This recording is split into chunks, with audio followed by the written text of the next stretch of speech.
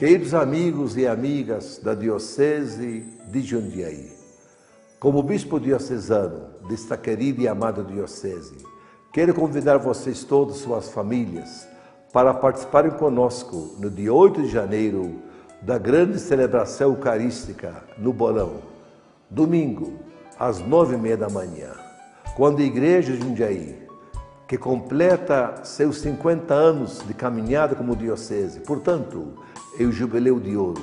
A Igreja reunida agradeça ao Senhor por sua presença nesta caminhada de 50 anos e pedirá ao Senhor que o Senhor continue a nos abençoando, a nos acompanhando, para que esta igreja de Jundiaí cada vez mais se torne uma igreja discípula missionária do Senhor Jesus, pela intercessão de Nossa Senhora do Mistério, nossa padroeira. Conto com todos vocês. Participemos deste grande alegria, de 8 de janeiro às nove e meia da manhã, no Bolão, em Jundiaí. Que Deus abençoe vocês e suas famílias.